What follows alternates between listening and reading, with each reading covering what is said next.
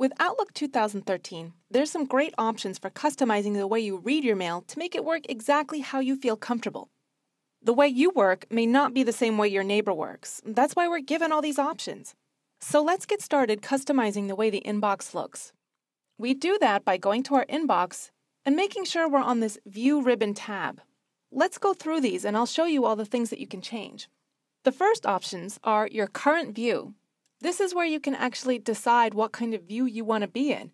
Any saved views that you have will show up here also. It defaults to compact view. Now you'll notice that all my icons are all compact here on the right hand side. I can change this.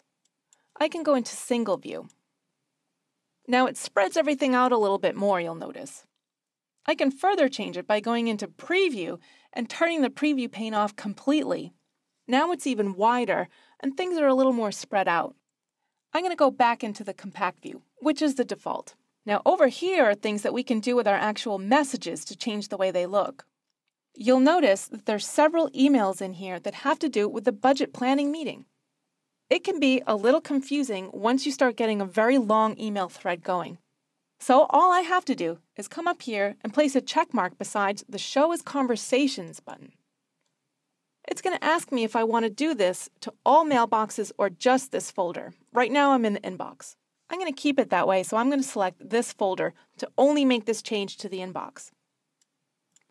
Now what's happened is every single email that had to do with the budget planning meeting, including all replies, are nicely tied up in a conversation thread. But to get to it, I can click this arrow and expand it. Here's all the emails. When I'm done reading them, I can minimize it, and now they're nicely packaged again. To uncheck this at any time, I can uncheck Show as Conversations, and again, choose that I only want to do it to the inbox. Now moving along, we can change how the messages are previewed. You'll notice that in addition to the subject line on an email, I can also see a little bit of text about what's the body of the email.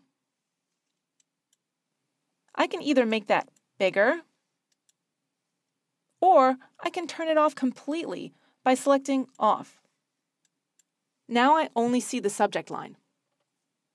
Over here we have the arrangement options. This is how we actually change the way that the messages are sorted in the inbox. Right now, by default, they're sorted by date. You can see here's today's mail, and here's last week's mail, and it goes further from there. I can click on Reverse Sort over here and have the oldest messages be at the top and the newest ones be down at the bottom. I can change the sort order by anything I want that's in this list. For example, I can sort by who the email is from. As you'll see, it starts with A from a key, but I can also reverse sort this column too and have the last alphabetical sender be up top. So play around with these because I can also change them by size, in which I can see my largest emails at the top that includes all the attachments. Or again, I can reverse sort and have the smallest ones at the top. I can also add columns to my inbox if I want. Don't forget, right now we're in the compact view, but if I wanted to move these sliders over, all of a sudden, I can see that there's a lot more columns in here than I initially thought there were. I can add more at any time by going up to Add Columns. I can also change the order they're in. For example, you can see that the attachment icons are all the way to the left-hand side. I can move those by selecting them and choosing Move Down. Or I can move any icons up that I want to be first in the list. I can also add and remove any columns as I want. If I want to get rid of it, I can simply click Remove. Once I'm done, I can choose OK. And then all my changes are made you'll see that the paperclip icon is now down at the back because we pushed it further down in the column list. If at any time I want to go back to my compact view, I can either move the slider along or come up here and click this Reset View. That will bring everything back to the way that the default view is supposed to look. I can also change the layout up here. For example, I can change my reading pane. If I don't like it on the right-hand side, I can always put it on the bottom of the screen. I can use these sliders and make it bigger or smaller. I can also turn it off completely right from here.